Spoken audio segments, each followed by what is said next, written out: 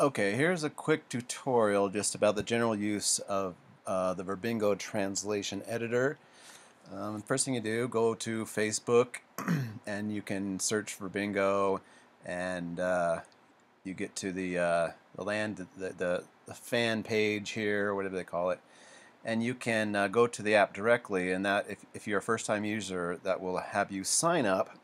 if you are already signed up, um, you will be taken straight to this uh, landing page where we have articles and whatnot on how to do things and uh, you know such.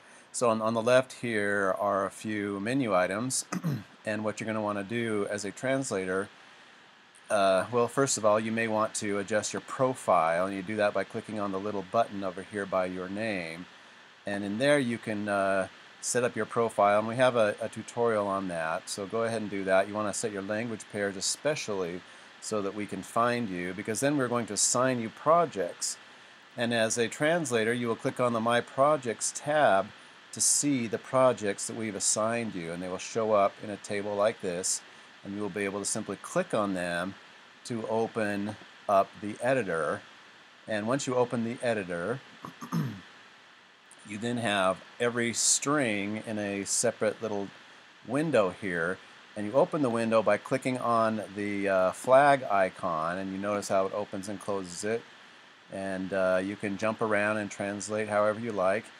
Um, once inside the editor you simply click in the window here and you can type your um, translation and then you hit submit or submit next and that would take you to the next the next segment. then you would re repeat the process. You can also use these buttons here, such as copy source, find fuzzy, and uh, some navigation tools here. For translators, don't worry about the red button over here, but that basically uh, is a review tool. Um, uh, you can, uh, if you need to edit a translation, you can click on this icon and that allows you to edit. Um, this, uh, the like button is for reviewing, and again, it, it's, it's connected to this, to this icon here. So that's a, a basic general overview. You can scroll up and down, um, but one other thing also, notice here your uh, pro uh, project status, but also here is a search TM uh, button where you can type in anything that you want to search inside of the translation memory, and uh, this memory is specific to just this client.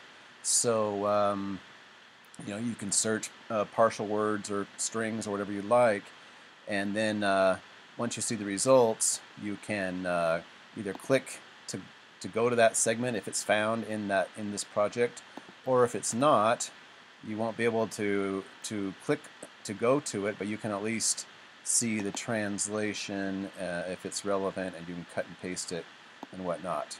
We are making improvements here to to make the editor more friendly. So we ask for your input and feedback, but generally that's how you use it.